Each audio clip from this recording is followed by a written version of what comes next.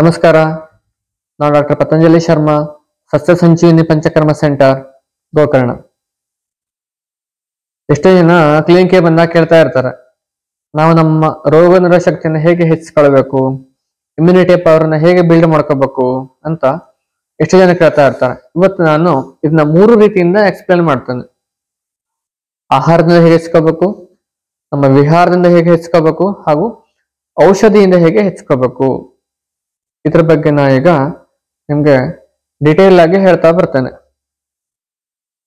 ನೀವಿನ್ನು ನಮ್ಮ ಚಾನಲ್ಗೆ ಸಬ್ಸ್ಕ್ರೈಬ್ ಮಾಡದಿದ್ರೆ ದಯವಿಟ್ಟು ಸಬ್ಸ್ಕ್ರೈಬ್ ಮಾಡಿ ಹಾಗೂ ಈ ವಿಡಿಯೋವನ್ನ ಕಡೆಯವರೆಗೂ ನೋಡಿ ನಾನು ಡಿಟೇಲ್ ಆಗಿ ಹೇಳ್ತಾ ಬರ್ತೇನೆ. ಮೊದಲನೇದಾಗಿ ಈಗ ಆಹಾರ. ಆಹಾರದಿಂದ ನಾವು ಹೇಗೆ ನಮ್ಮ ರೋಗ ಶಕ್ತಿಯನ್ನು ಹೆಚ್ಚಿಸ್ಕೋಬಹುದು ಅಂತ. ನಾವು ತಗೊಳ್ಳುವಂತ ಆಹಾರ ಎಷ್ಟಾಗುತ್ತೋ ಅಷ್ಟು ನೈಸರ್ಗಿಕವಾಗಿ ಇರಬೇಕು. ನ್ಯಾಚುರಲ್ ಆಹಾರ ಆಗಿರ್ಬೇಕು. ಈಗ ನಾವೇನು ಸಾವಯವ ತರಕಾರಿ, ಆರ್ಗ್ಯಾನಿಕ್ ಅಂತ ಹೇಳ್ತೇವಲ್ಲ, ಆ ಟೈಪ್ ಇಂದು ಆಗಿರ್ಬೇಕು.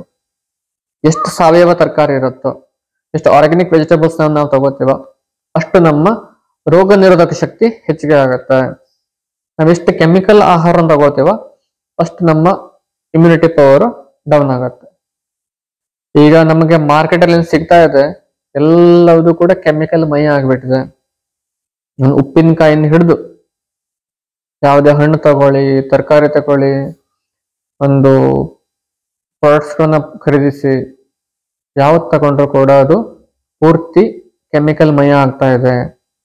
ಈ ಒಂದು ಕೆಮಿಕಲ್ಸ್ ನಮ್ಮ ದೇಹವನ್ನ ಡ್ಯಾಮೇಜ್ ಮಾಡ್ತಾ ಇದೆ. ನಮ್ಮ ದೇಹದ ಆರ್ಗನ್ಗಳನ್ನ ಡ್ಯಾಮೇಜ್ ಮಾಡ್ತಾ ಇದೆ.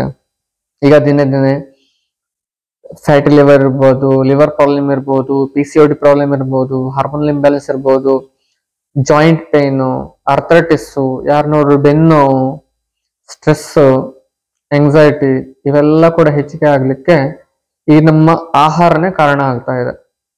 ಈಗ ಒಂದು ನೋಡಿ, ನಮ್ಗೊಂದು ಒಳ್ಳೆ ಆಯಿಲ್ ಬೇಕು ಅಂತಂದ್ರೆ ಅಡಿಗೆ ಮಾಡ್ಲಿಕ್ಕೆ ಒಂದು ಆಯಿಲ್ ಬೇಕಾಗಿರುತ್ತೆ. ಆ ಒಂದು ಆಯಿಲ್ ನಮಗೆ ನ್ಯಾಚುರಲ್ ಆಗಿ ಸಿಗ್ತಾ ಇಲ್ಲ.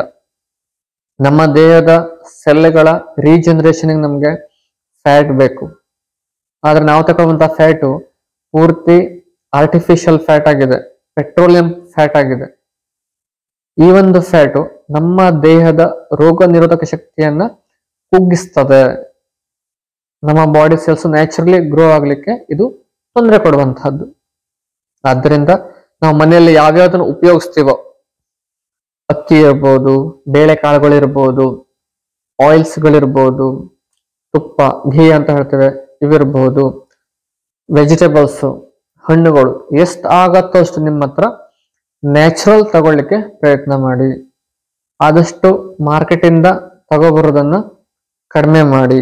ಮಾರ್ಕೆಟಲ್ಲೂ ಕೂಡ ನಿಮಗೆ ಈಗ ಆರ್ಗ್ಯಾನಿಕ್ ಸಿಗತ್ತೆ, ಅಂಥದ್ದನ್ನು ನೀವು ಪರ್ಚೇಸ್ ಮಾಡಬೇಕು. ಸಿಂಥೆಟಿಕ್ ಇರುವಂತಹದ್ದು ಬೇಕರಿ ಐಟಮ್ಸ್ಗಳು ಇದನ್ನೆಲ್ಲ ಎಷ್ಟಾಗುತ್ತಷ್ಟು ಕಡಿಮೆ ಮಾಡಿ. ಕೆಲವೊಬ್ಬರ ಡಯಟ್ ಹೇಗಿರುತ್ತೆ ಅಂತಂದ್ರೆ, ಬೆಳಗ್ಗೆ ಎದ್ದ ಕೂಡಲೇ ಬೇಕರಿ ಐಟಮ್ ಇಂದ ಸ್ಟಾರ್ಟ್ ಆಗತ್ತೆ. ಇದನ್ನ ಆದಷ್ಟು ಸ್ಟಾಪ್ ಮಾಡಿ. Occasionally once in fifteen days once in month ಆದ್ರೆ ತೊಂದರೆ ಇಲ್ಲ. ಡೈಲಿ ಇದನ್ನ ತಗೊಳ್ಳೋದು ಒಳ್ಳೇದಲ್ಲ. ಇದು ನಾನು ಆಹಾರದ ಬಗ್ಗೆ ಹೇಳುವಂತಹದ್ದು. ನೆಕ್ಸ್ಟ್ ವಿಹಾರ. ನಮ್ದು ಆಕ್ಟಿವಿಟಿ ಹೇಗಿರ್ಬೇಕು? ಸೆಕೆಂಡ್ ಪಾಯಿಂಟ್ ವಿಹಾರಗಳಲ್ಲಿ ನಮ್ದು ಬ್ಯುಸಿ ಲೈಫ್ ಶೆಡ್ಯೂಲ್ ಆಗಿದೆ. ಬೆಳಗ್ಗೆ ಹೇಳ್ತೇವೆ ಎಲ್ಲ ಕೆಲಸಗಳನ್ನ ಮಾಡ್ಕೊಂತ ಹೋಗ್ತೇವೆ. ಮಧ್ಯಾಹ್ನ ಪಟ ಪಟ ಕೆಲಸ ಮಾಡೋದು, ಸಂಜೆ ಕೆಲಸ ಮಾಡೋದು. ನಮ್ಮ ಬಾಡಿಗೆ ರೆಸ್ಟ್ ಸಿಗಲ್ಲ. ನಾವು ನಮ್ಮ ಬಾಡಿಗೆ ಸ್ವಲ್ಪ ರೆಸ್ಟ್ ಅನ್ನ ಕೊಡಬೇಕು. ಮತ್ತೆ ನಮ್ದು ಆಕ್ಟಿವಿಟಿ ಹೇಗಿರುತ್ತೆ ಅಂತಂದ್ರೆ ಕಂಟಿನ್ಯೂ ಲ್ಯಾಪ್ಟಾಪ್ ಮುಂದೆ ಕೆಲಸ ಮಾಡ್ತಾರೆ ಸಿಸ್ಟಮ್ ಮುಂದೆ ಕೆಲಸ ಮಾಡ್ತಾರೆ ಕಂಟಿನ್ಯೂ ಮೊಬೈಲ್ ಫೋನ್ ಅಲ್ಲಿ ಇರ್ತಾರೆ ಕಂಟಿನ್ಯೂ ಇಂಟರ್ನೆಟ್ ಅಲ್ಲಿ ಬ್ರೌಸ್ ಮಾಡ್ತಾ ಇರ್ತಾರೆ. ಇವೆಲ್ಲವೂ ಕೂಡ ನಮ್ಮ ಒಂದು ಮೆದುಳಿಗೆ ತೊಂದರೆ ಕೊಡುವಂತಹದ್ದು, ನಮ್ಮ ಬಾಡಿಗೆ ತೊಂದರೆ ಕೊಡುವಂತಹದ್ದು, ನಮಗೆ ಸ್ಟ್ರೆಸ್ ಬಿಲ್ಡ್ ಮಾಡೋದ್ರಿಂದ ನಮ್ಮ ಇಮ್ಯುನಿಟಿ ಪವರ್ ಕಡಿಮೆ ಆಗ್ತಾ ಬರ್ತದೆ. ಇದು ವಿಹಾರಗಳಲ್ಲಿ. ನೆಕ್ಸ್ಟ್ ನಾವು ಬರುವಂತಹದ್ದು ಔಷಧ.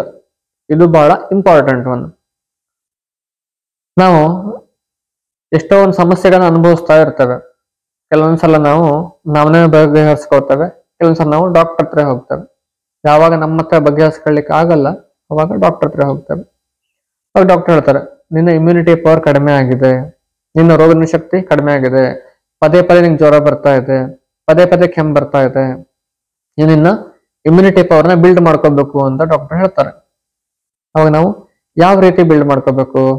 ಸ್ವಲ್ಪ ಸ್ವಲ್ಪ ಪ್ರಾಬ್ಲಮ್ ಇದ್ರೆ ನಾವು ಕೆಲವೊಂದು ಗಿಡಗಳಿಂದನೇ ಮಾಡ್ಕೋಬಹುದು ನಾನಿಲ್ಲಿ ಕೆಲವು ಗಿಡಗಳನ್ನ ಇಟ್ಕೊಂಡಿದ್ದೇನೆ. ಸಹದೇವಿ ನೆಲದಲ್ಲಿ ಅರಿಶಿನ ಗಿಡ ಹಲೆಚಕ್ಕೆ ತುಳಸಿ, ಅರಿಶಿನ ಪುಡಿ, ಮರದ ಅರಿಶಿನ ಹಾಗೂ ಗಡ್ಡೆ ಅರಿಶಿನದ ಪುಡಿ. ಇದು ಬಲ ಗಿಡ. ಸಿಡ, ರೋಂಬಿಫೋಲಿಯಾ ಅಂತ ಹೇಳ್ತವೆ. ಇದು ಬಲ. ಬಲಮೂಲವನ್ನು ಉಪಯೋಗಿಸ್ತವೆ. ಇದು ಜಲಭ್ರಾಮಿ. ನಾನು ನಿಮಗೆ ಕಳೆದ ವಿಡಿಯೋದಲ್ಲಿ ಹೇಳಿದ್ದೆ, ಜಲಭ್ರಾಮಿ ಬಗ್ಗೆ ಎಕ್ಸ್ಪ್ಲೇನ್ ಮಾಡಿದ್ದೆ. ಅಮೃತ ಬಳ್ಳಿ ಬಗ್ಗೆ ಕೂಡ ಎಕ್ಸ್ಪ್ಲೇನ್ ಮಾಡಿದ್ದೆ.